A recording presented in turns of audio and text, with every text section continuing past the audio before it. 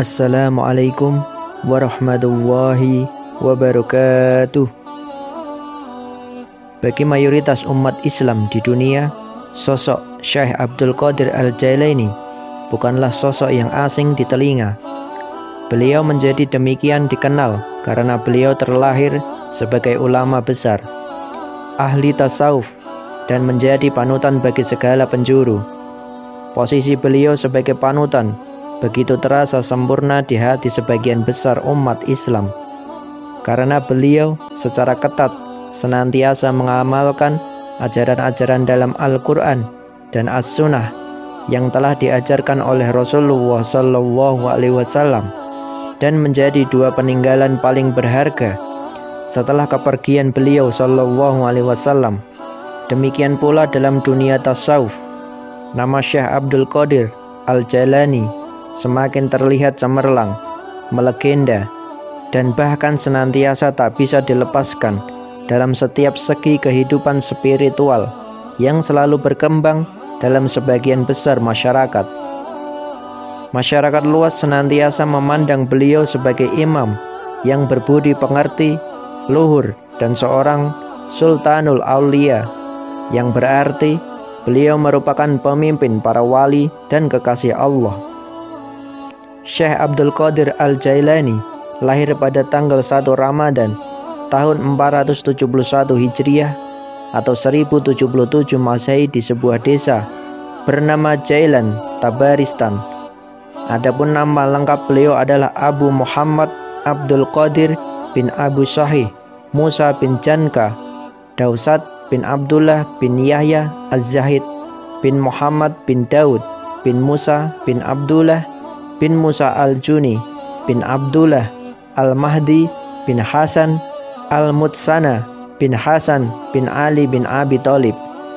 Dengan demikian dari pihak ayah nasab beliau bersambung kepada Rasulullah Shallallahu Alaihi Wasallam dari putri beliau yang bernama Fatimah Az-Zahra yang bersuamikan Ali bin Abi Thalib. Sedangkan nasab dari pihak ibu adalah Abu Muhammad Abdul Qadir bin Fatimah binti Abdullah bin Abu Jamaluddin bin Tahir bin Abdullah bin Kamaluddin Isa bin Muhammad Al-Jawad bin Ali Ar-Ridho bin Musa Al-Qadim bin Jafar As-Sadiq bin Muhammad Al-Bakir bin Ali Zainal Abidin bin Husain bin Ali bin Abi Talib. Kakek Syekh Abdul Qadir Al-Jalani yang bernama Abdullah merupakan seorang sufi agung Zahid yang doanya senantiasa didengar oleh Allah Subhanahu wa taala. Syekh Abu Abdullah Muhammad Al-Qaswani berkata, Syekh Abdullah adalah seorang yang mustajab doanya. Apabila dia marah, maka Allah akan segera menghancurkan apa yang dimurkainya. Dan apabila beliau menyenangi sesuatu, maka Allah akan menjadikan sesuatu tersebut sesuai dengan yang dikehendakinya. Di balik kerapuhan badan dan kerentanan usianya, beliau masih konsisten melaksanakan amalan sunnah dan berzikir. Kekusuannya dapat dirasakan oleh semua orang.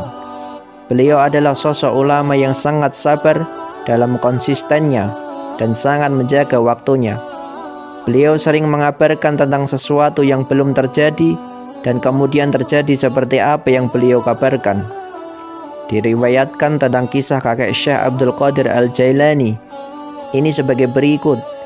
Suatu saat ketika kami sedang melakukan perjalanan niaga, segerombolan perompak menyerang kami di padang pasir, Samarkan. Saat itu ada yang berteriak memanggil Syekh Abdullah dan berikutnya beliau muncul di tengah-tengah kami seraya mengucapkan, Subuhul Khuddus, menjauhlah dari kami. Gerombolan perampok itu bercerai-berai. Setelah selamat dari serangan itu, kami mencari sang syekh dan tidak menemukannya. Beliau raib begitu saja. Setibanya kami di Jilan, kami menceritakan hal tersebut kepada orang-orang dan mereka berkata, "Demi Allah, sang syekh tidak pernah hilang dari kami." Banyak sekali gelar yang diberikan oleh para ulama kepada sosok Syekh Abdul Qadir Al-Jailani di antaranya beliau mendapat gelar sebagai imam pengikut mazhab Hanbali. Gelar ini diberikan oleh As-Sam'ani, seorang muhadis, hafiz, ahli fikih, dan sastrawan yang meninggal sekitar tahun 510 Hijriah. Syekh Abdul Qadir Al-Jailani juga mendapat gelar Syekhul Islam yang pertama kali diberikan oleh Az-Zahabi, seorang muhadis, syekh, pemuka manusia di segala zaman yang meninggal pada sekitar tahun 748 Hijriah. Sedangkan para sufi memberinya gelar sebagai Al-Hud wa Al-Qaus dan Ba'az Al-Ashab. Diriwayatkan bahwa saat mengandung Syekh Abdul Qadir Al-Jailani, usia ibunya Syekh adalah sekitar 60 tahun. Ada yang mengatakan bahwa tidak ada perempuan yang hamil pada usia 60 tahun kecuali wanita Quraisy dan tidak ada wanita yang dapat hamil pada usia 50 tahun kecuali wanita Quraisy. Syekh Abdul Qadir berada dalam pengasuhan orang tuanya hingga sampai usia 18 tahun. Saat itulah bertepatan dengan tahun wafatnya At-Tamimi 448 Hijriah. Dikisahkan bahwa ibunda Syekh Abdul Qadir Al-Jailani pernah berkata, Anak laki-lakiku Abdul Qadir dilahirkan di bulan Ramadan yang mulia tidak peduli betapa kerasnya aku mencoba, dia menolak untuk menyusu di siang hari. Sepanjang masa bayinya dia tidak pernah makan selama bulan puasa. Demikianlah sebagian besar ulama berpendapat bahwa kewalian Syekh Abdul Qadir Al-Jailani telah didapat semenjak beliau lahir di muka bumi ini. Derajat ini menjadi derajat yang tidak setiap hamba dapat mencapainya, karena ia merupakan derajat orang-orang khusus yang telah dipersiapkan oleh Allah Subhanahu wa taala untuk menjadi khalifah fil ardi yang sempurna. Dikisahkan pula bahwa suatu hari masyarakat di sekitar tempat tinggal Syekh Abdul Qadir tidak dapat melihat hilal untuk melihat awal masuk puasa. Mereka tidak tahu apakah puasa telah dimulai atau belum. Karena itu kemudian mereka berbondong-bondong datang ke kediaman Syekh Abdul Qadir yang saat itu masih bayi dan bertanya kepada ibu beliau, Ummu Khair Fatimah. Mereka menanyakan apakah Abdul Qadir sudah makan atau belum hari itu. Karena Ummu Khair Fatimah menjawab bahwa Abdul Qadir belum makan, maka mereka menduga bahwa hari itu telah masuk bulan Ramadan. Diriwayatkan Syekh Abdul Qadir Al-Jailani berkata, setiap kali muncul keinginan dalam diriku untuk bermain bersama anak-anak lain, aku mendengar suara yang berkata, Kemarilah, wahai Mubarak, orang yang diberkahi. Aku ketakutan dan bersembunyi di kamar ibuku. Tak kala usia Syekh Abdul Qadir mendekati masa balik, beliau sangat gemar mempelajari berbagai ilmu pengetahuan, mengunjungi para ulama yang mulia derajatnya, lagi berpengetahuan tinggi, serta melaksanakan berbagai keutamaan. Dikatakan bahwa langkah beliau dalam menuntut ilmu pengetahuan dalam mengunjungi para ulama dan melaksanakan berbagai keutamaan lebih cepat daripada langkah burung merak jantan. Syekh Abdul Qadir juga merupakan sosok waliullah utama yang senantiasa menjunjung tinggi kejujuran. Mengenai hal ini, dikisahkan bahwa suatu hari Syekh Abdul Qadir pergi ke ladang untuk membantu menggarap tanah. Selama beliau berjalan di belakang seekor lembu jantan, lembu tersebut selalu memalingkan kepalanya dan memandang beliau. Akhirnya lembu tersebut berkata, "Engkau tidak diciptakan untuk pekerjaan ini." Mendengar seekor lembu yang dapat berbicara, Syekh Abdul Qadir pun ketakutan. Beliau segera pulang ke rumah dan memanjat hingga ke atap rumah. Ketika sampai di atap, beliau juga menemui keajaiban, di mana beliau melihat para jamaah haji yang tengah melakukan ibadah wukuf di Arafah. Beliau akhirnya segera menemui sang ibunya dan memohon izin kepadanya untuk pergi ke Baghdad guna menuntut ilmu pengetahuan kepada syekh-syekh besar di sana.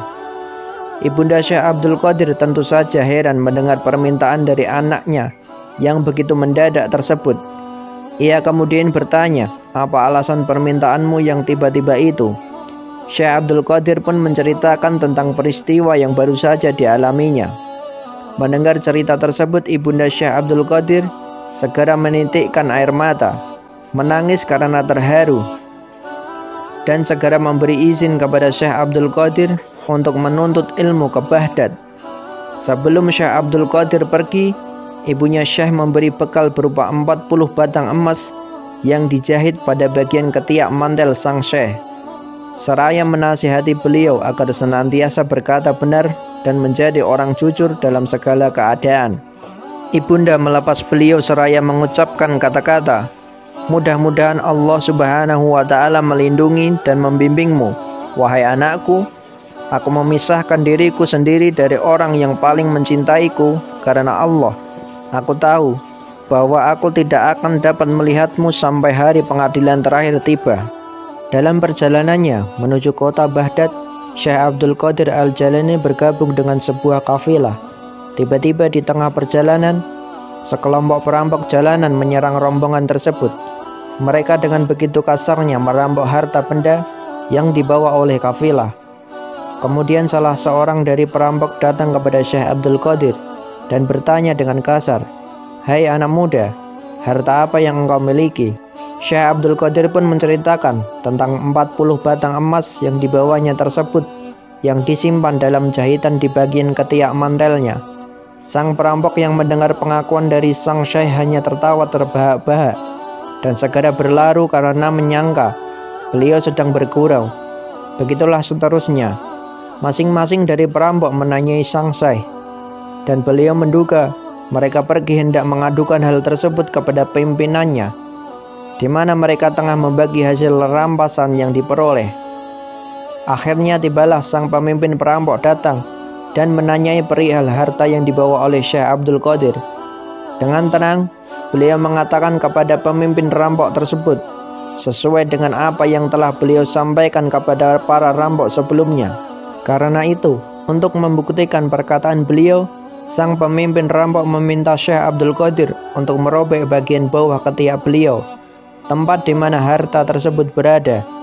Dan benar saja, sang rampok mendapati 40 dinar di dalamnya.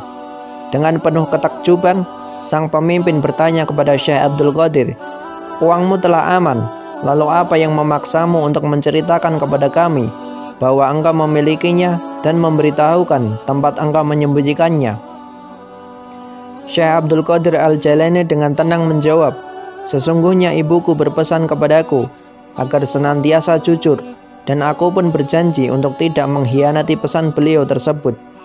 Setelah mendengar jawaban dari Syekh Abdul Qadir, spontan pemimpin rampok tersebut meneteskan air mata dan dengan penuh penyesalan ia berkata, Aku telah mengingkari janjiku kepada siapa yang telah menciptakanku. Aku sering kali mencuri dan membunuh. Lalu apa yang akan terjadi padaku? Melihat perubahan pada diri sang pemimpin yang begitu mengejutkan, para perampok lainnya berkata, Engkau adalah pemimpin kami dalam perampok. Sekarang engkau pemimpin kami dalam bertaubat. Alhasil, seluruh rampok berserta sang pemimpin bertaubat di hadapan Syekh Abdul Qadir Al-Jailani dan mengembalikan seluruh harta yang telah dirampas kepada para kafilah.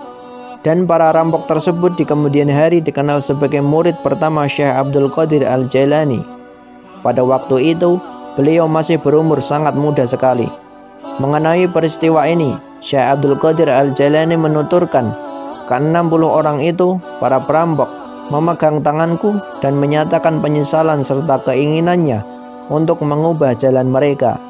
Ke-60 orang itu adalah orang yang pertama memegang tanganku dan mendapatkan keampunan untuk dosa-dosa mereka.